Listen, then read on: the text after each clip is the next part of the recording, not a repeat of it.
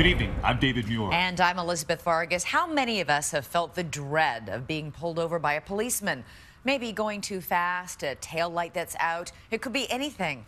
But now, a group of women who say that they had a very different reason to be afraid. They say a menace wearing a badge. And right here tonight, both sides that all American cop and the women who were once too afraid to speak out.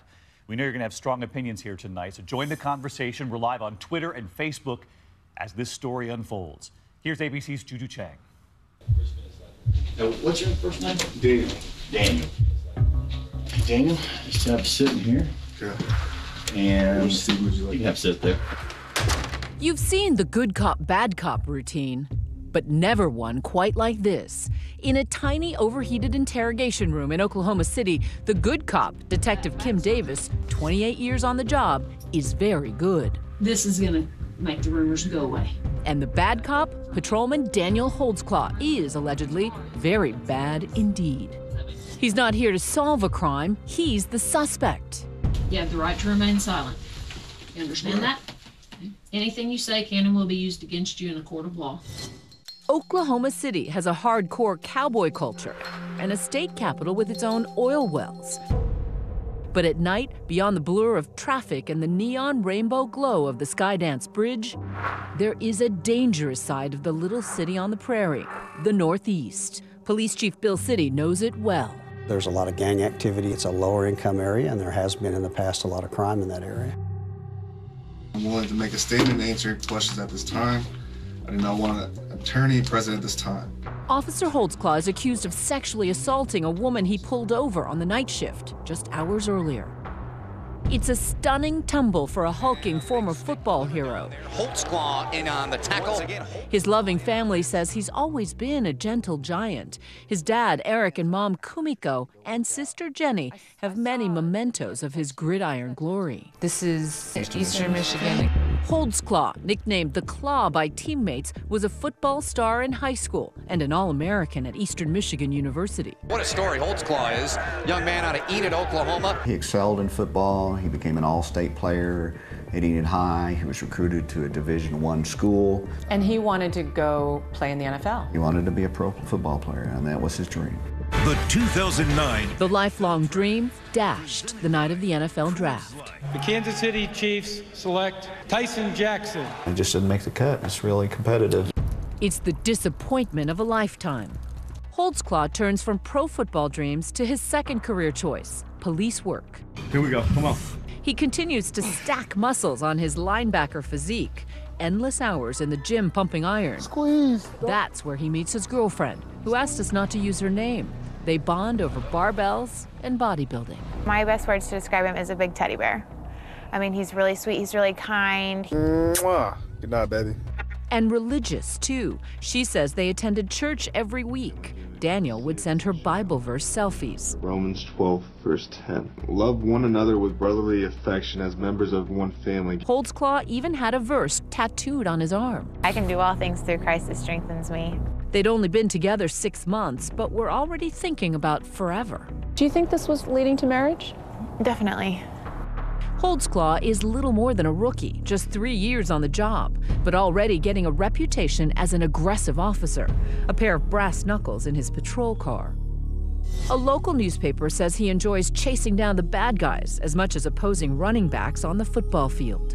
His dad, Eric Holtzclaw, is a police officer too, in the family's hometown of Enid, Oklahoma. I would say he was a proactive police officer. Um, he liked to, to get in the mix. He wanted to catch the bad guys.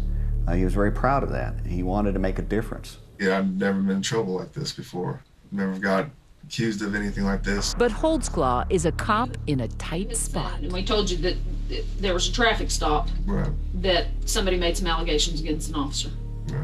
It's 2 o'clock that morning, off duty, driving home in his police car, which many officers do in Oklahoma City. Holtzclaw makes a traffic stop. Do you make traffic stops normally after work? I don't, but in that case, I saw her swerve and whatnot.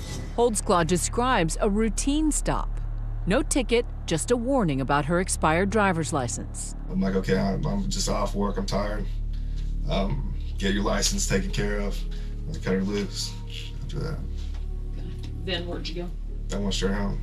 He admits he never bothered to call it in, and in another violation of procedure, had shut down the communications and GPS tracking system in his patrol car, something he says he always did after work. Did you run her on your MDT? No, I didn't. All my all my stuff as far as that, because I didn't even call it in and say it was a traffic stop. My computer was off and everything as well. But that female driver is telling police a very different story. She says the officer made her expose herself and sexually assaulted her right there in the back of his patrol car by the side of the road. Well, was there anything? An accidental touch, a anything? If she thought it uh, when I passed searched her, but I, it was nothing as far as I felt like I would do anything as far as sexual or anything like that. Detective Davis had met with the woman earlier that morning. What was your first impression of her? Her makeup was smeared because she'd been crying. I mean, I can see her face right now and the fear in her eyes and in her facial expression. Nothing sexual went on during that 15 minutes. Nothing sexual. Holtzclaw's sister says all she sees is a man telling the truth. When you look at the interrogation video, hmm. what do you see? That's Daniel. Daniel being honest, straightforward. He had nothing to hide. Detective Davis disagrees. I just thought he was very robotic. He didn't express any shock. No, if I accused you of doing something like this, or if I was accused of something like that, my voice would probably go up 10 octaves and I'd be like, What? I didn't do that. Did your pants come unzipped, unbuttoned, anything while you were standing right there? No. But after more than two hours cornered in that stifling interrogation room, I don't know if this shirt's gonna be big enough for you. Here, there you go, boy. he's stripped of his badge, his gun, and humiliatingly, even his uniform. Standing there in borrowed clothes in that tiny room, Holtzclaw calls his girlfriend. Hey, baby, babe, I need to I need to tell you what's going on. It's crazy. You've just witnessed the end of Daniel Holtzclaw's short career in law enforcement. Hey, uh, until this investigation gets all completed, what's going on, we're gonna put you on administrative leave of pay, okay? Not only is he no longer working for the police, now the police are working against him.